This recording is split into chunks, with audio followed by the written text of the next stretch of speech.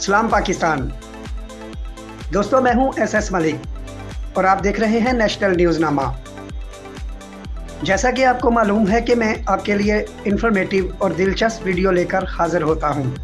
Video शुरू करने से पहले आपसे गुजारिश है कि आप हमारे चैनल नेशनल न्यूज़ नामा को सब्सक्राइब करें, लाइक करें और घंटी के बटन को लाजमी दबा दें ताकि हर नई आने वाली हमारी वीडियो आप तक पहुँच जाए।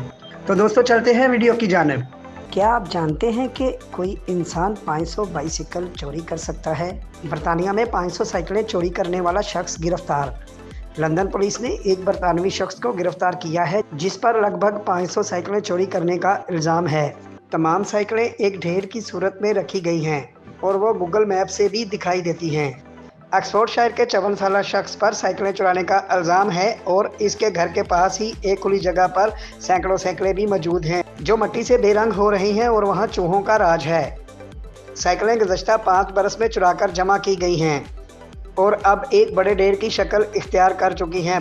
पुलिस के मुताबिक इन साइकिलों में से ज़्यादातर साइकिलें चोरी की हैं और अब इनके मालकान की तलाश जारी है। वाजे रहे कि ऑक्सफोर्ड शहर का ये इलाका कई बरस से साइकिल चोरी का एक बड़ा मरकज़ था। जराए ब्लाक के मुताबिक इसे साइकिल सवारों के लिए बदतरीन मकाम भी कहा जाने लगा था। अवाम और पुलिस खुद भी हैरान है कि इतनी बड़ी तादाद में साइकिलें यहाँ कैसे जमा हुई। अब तक इस पर किसी की नज़र क्यों नहीं पड़ी? अगर ये साइकिलें फ़रोख्त नहीं की गई तो फिर इन्हें चोरी करने का मकसद क्या था?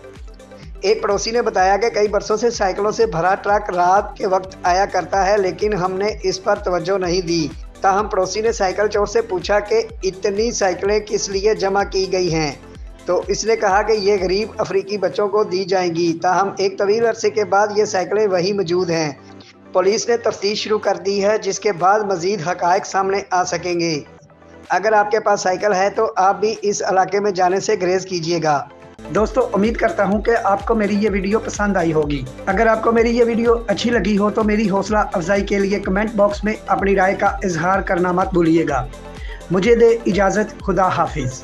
We'll be right back.